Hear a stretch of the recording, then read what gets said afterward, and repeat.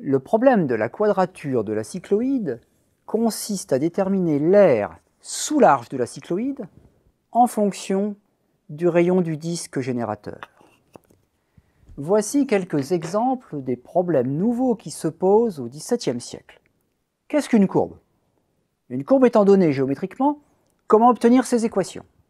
Quelle est la longueur de cette courbe? Qu'est-ce que la tangente à cette courbe en un point donné? Comment déterminer cette tangente? Quelle est l'aire déterminée sous cette courbe Que dire du centre de gravité de la figure déterminée par cette courbe Ce contexte scientifique permet de comprendre combien la question de la quadrature de la cycloïde apparaît si naturelle lorsque Pascal va lancer en 1658 un concours sur cette courbe célèbre. Dans son histoire de la roulette, Pascal nous apprend que l'histoire de la cycloïde débute en 1615 dans une correspondance avec le père Mersenne. Dans ses relations épistolaires, ce religieux de l'ordre des minimes a diffusé en Europe les plus difficiles problèmes de l'époque aux plus prestigieux mathématiciens de son temps, dont des questions sur cette cycloïde. Dans le texte projeté au tableau, Pascal souligne que le père Mersenne a un talent tout particulier pour former de belles questions. Mais Pascal s'empresse de reprocher un peu méchamment que Mersenne ne put pénétrer les difficultés de cette courbe et que Mersenne n'eut pas un pareil bonheur à les résoudre et que ce soit proprement en ceci que consiste tout l'honneur.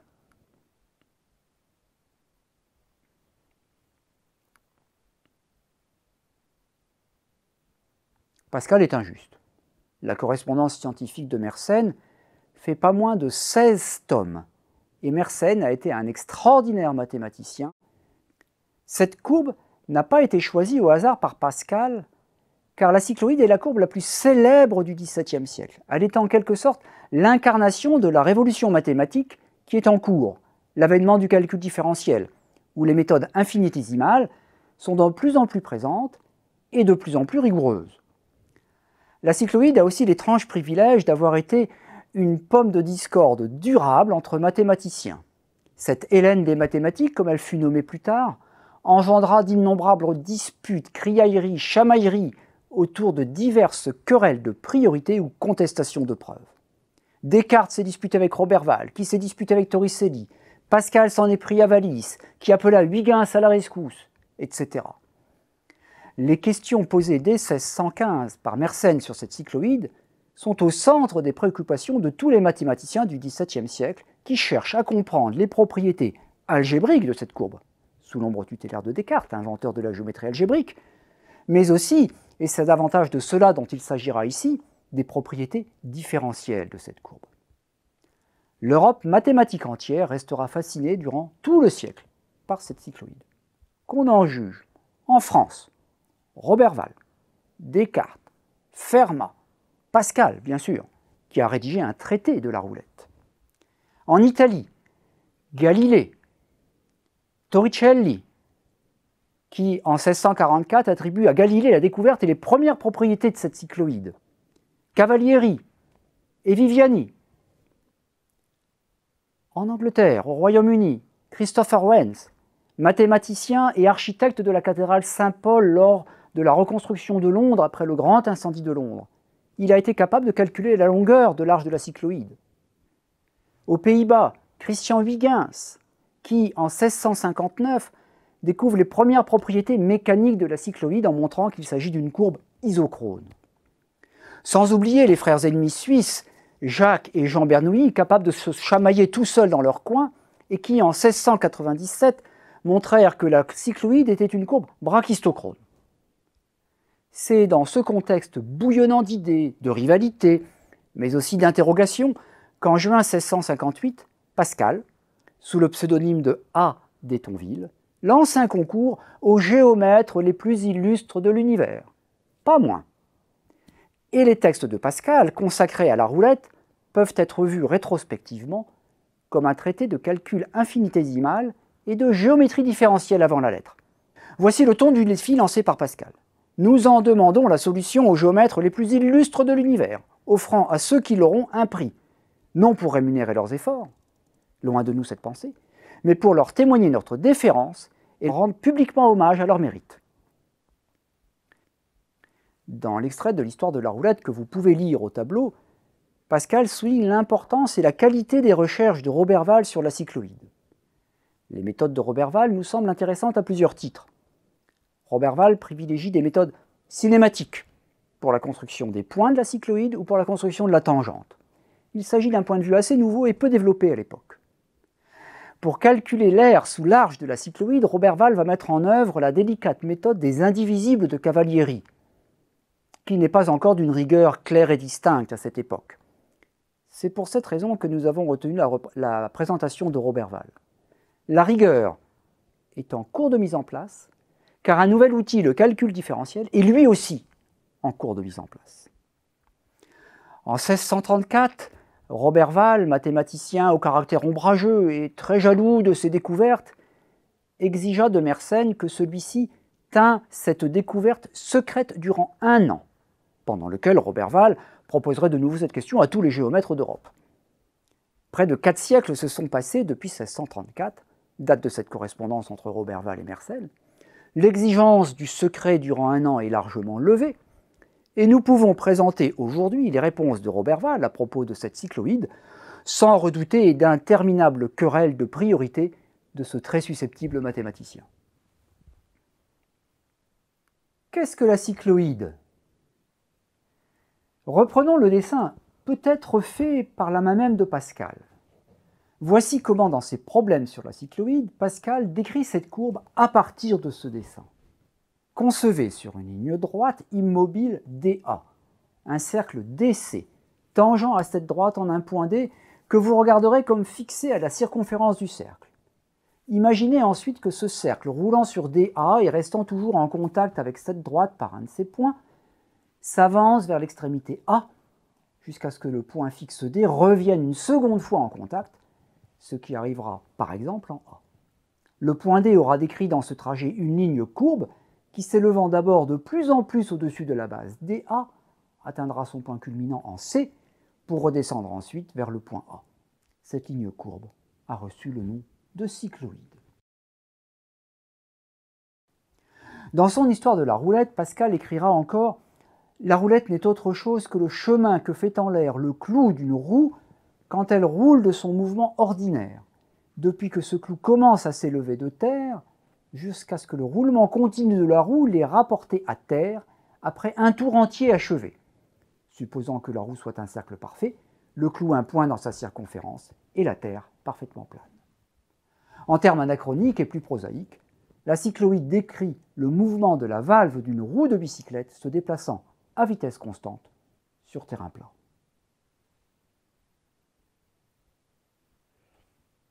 Au XVIIe siècle, comme aujourd'hui, le tracé à main levée d'une courbe comme la cycloïde n'est pas une chose aisée. Voici la construction point par point proposée par Roberval dans ses cours au Collège Royal, aujourd'hui Collège de France. Roberval propose une construction très cinématographique, avec une chronologie en huit images les huit points de la cycloïde sont obtenus après un découpage du disque en huit parts égales de camembert, puis en traçant des segments parallèles au rayon vecteur, dont les origines sont réparties de manière équidistante sur l'axe délimité par le centre du cercle. L'arche polygonale est une interpolation de l'arche de la cycloïde.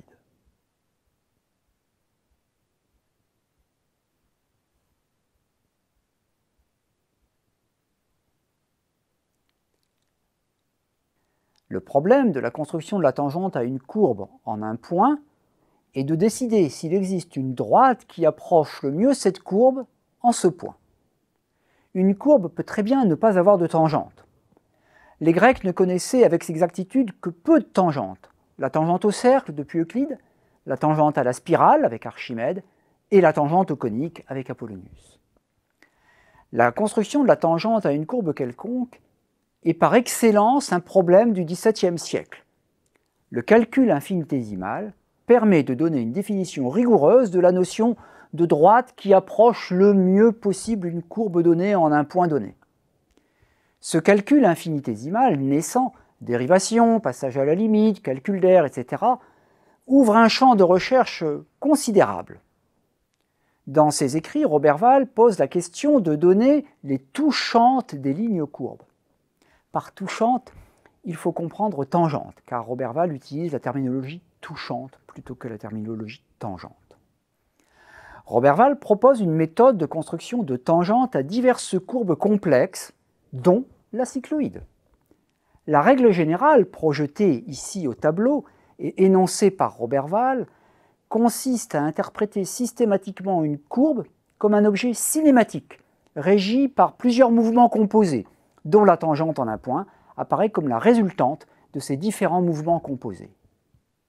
Cette règle générale par les mouvements mêlés, selon la terminologie de Roberval, peut sembler un peu obscure. Nous allons la détailler sur la cycloïde en suivant le texte de Roberval, mais en utilisant le vocabulaire d'aujourd'hui, les vecteurs, les outils d'aujourd'hui, la somme des vecteurs, et les technologies d'aujourd'hui, les animations. Pour déterminer la touchante à la cycloïde, Roberval voit cette cycloïde comme un objet cinématique mu par la composition de deux mouvements, un mouvement rectiligne et un mouvement circulaire. En conséquence de sa règle générale des mouvements mêlés, la tangente en un point de cette cycloïde est obtenue par composition de ces deux mouvements.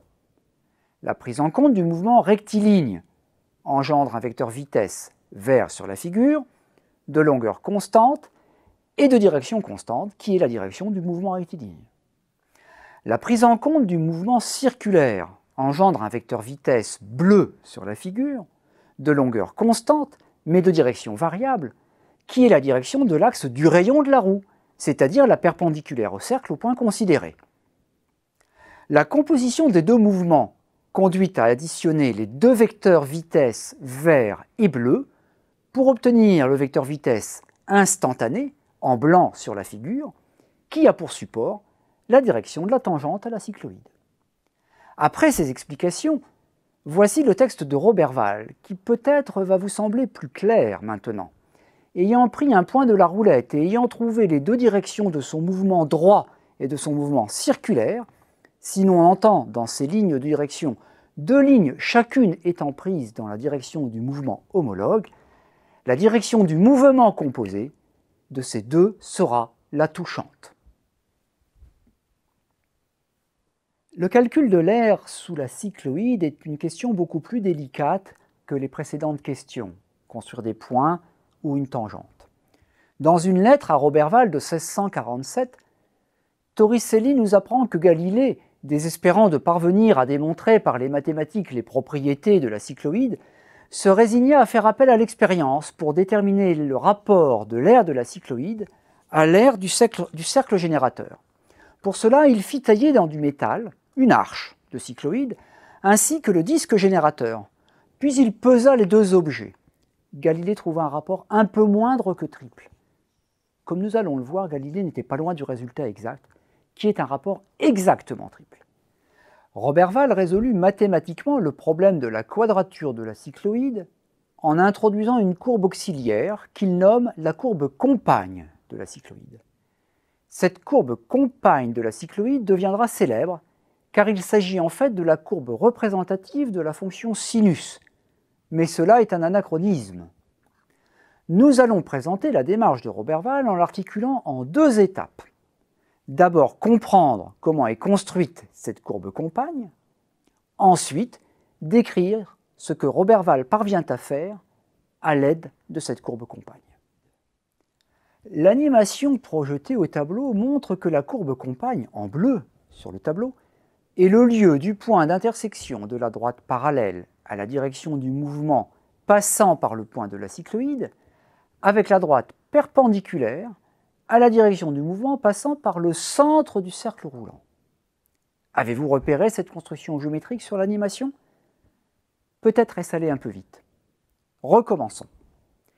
En traçant la droite parallèle à l'axe du mouvement, passant par le point mobile de la cycloïde, puis, en traçant la droite perpendiculaire à l'axe du mouvement passant par le centre mobile du cercle roulant, on obtient deux droites séquentes dont le point d'intersection mobile permet de tracer la courbe compagne de la cycloïde.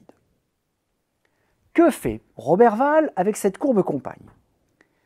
L'idée très féconde de Roberval est de découper l'air sous la cycloïde en deux parties. D'une part, l'air sous la courbe compagne, le bicorne napoléonien, bleu.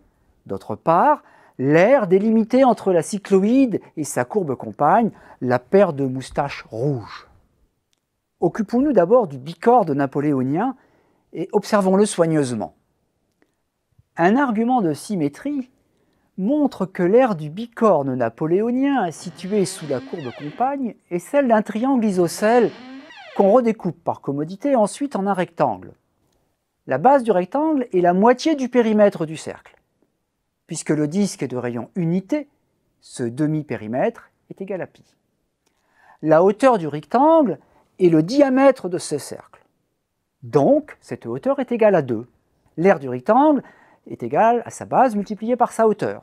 L'aire du bicorne bleu sous la courbe compagne est donc 2 fois pi le bicorne napoléonien vaut donc deux disques unités. Le calcul de l'aire de la paire de moustaches située entre la cycloïde et la courbe compagne est nettement plus amusant. C'est pour calculer l'aire des moustaches que l'intervention du calcul infinitésimal est cruciale. Au XVIIe siècle, les mathématiciens disposent de nouveaux outils pour calculer des aires on trouve des traces de ces nouvelles méthodes de calcul d'air jusque dans les ouvrages d'enseignement de l'époque. Dans les nouveaux éléments de géométrie d'Antoine Arnaud, qui est un proche de Pascal, Antoine Arnaud décrit une nouvelle façon de calculer l'air d'un parallélogramme, pourtant connu depuis Euclide. Malgré le statut encore incertain des indivisibles du point de vue de la rigueur, Arnaud tient à les citer dans cet ouvrage d'enseignement en prenant l'exemple le plus simple, celui de l'air d'un parallélogramme. Ceci montre en passant que les ouvrages d'enseignement sont rapidement contaminés par la révolution mathématique en cours. Voici un extrait de ces nouveaux éléments de géométrie où Arnaud explique cette étrange façon de calculer l'air d'un parallélogramme. Le raisonnement s'appuie sur un argument délicat qui consiste à sommer une infinité de segments sans épaisseur pour obtenir une aire.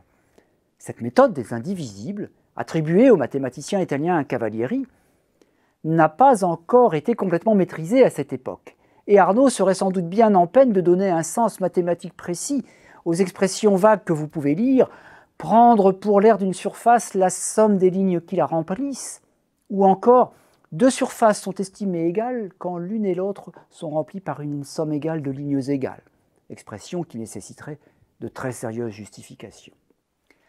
L'émergence du calcul infinitésimal au XVIIe siècle conduit à poser ce genre de questions. La sommation d'un grand nombre de segments chacun d'air nul peut-elle produire, par passage à la limite, l'aire d'une figure? L'aire du parallélogramme comme sommation d'un nombre infini de segments d'air nul bah, ne sera justifiée rigoureusement qu'au XIXe siècle. Cet exemple du calcul de l'aire du parallélogramme par les indivisibles va nous permettre de comprendre la méthode de Roberval pour le calcul de l'aire des moustaches délimitées par la cycloïde et sa courbe compagne. En France, Roberval est un ardent adepte de la méthode des indivisibles de Cavalieri. Voici un extrait bien obscur, mais très audacieux d'un texte de Roberval. Nous sommes environ en 1634, c'est-à-dire bien avant les travaux de Newton, publiés en 1687. La rigueur n'y trouve pas encore tout à fait son compte. Mais les idées infinitésimales finiront par fournir des énoncés précis. Ce petit extrait résume bien l'étrange période de turbulence dans laquelle se trouvent les mathématiques du XVIIe siècle. Dans cette figure extraite des œuvres de Roberval, les segments de gauche sont alignés sur un demi-cercle. Les segments de droite sont alignés sur le graphe de la courbe compagne de la cycloïde. Le roulement a lieu sans glissement. À chaque instant, les arcs noirs sont donc de même longueur. On en déduit qu'à chaque instant, les segments rouges empilés sur le demi-cercle ou empilés sur l'une des deux moustaches sont également de même longueur. Ces segments rouges de même longueur montrent, plus qu'ils ne démontrent, qu'avec un nombre de plus en plus grand de segments, l'aire délimitée entre les deux courbes s'approche de celle d'un demi-disque. Puisqu'à chaque instant les segments rouges sont de même longueur, Robert Val en déduit que l'aire délimitée entre les deux courbes est celle d'un demi-disque. La méthode des indivisibles montre bien que l'aire d'une des deux moustaches rouges est l'aire d'un demi-disque de rayon 1, c'est-à-dire pi sur 2. La paire complète de moustaches sera donc d'air égale à pi. Récapitulons. Comme le disait Robert Val en 1634, en faisant de même pour l'autre moitié, toute la figure de la cycloïde vaudra trois fois le cercle. L'aire du bicorne napoléonien bleu délimitée par la courbe compagnon est celle d'un triangle d'air 2π. L'aire de la paire de moustaches rouges est égale à pi. Au total, l'aire délimitée sous la cycloïde vaut donc 2π pour le bicorne plus pi pour les moustaches, 3π. Comme le dit Pascal, M. de Roberval y réussit il démontra que l'espace de la roulette est triple de la roue qui la forme.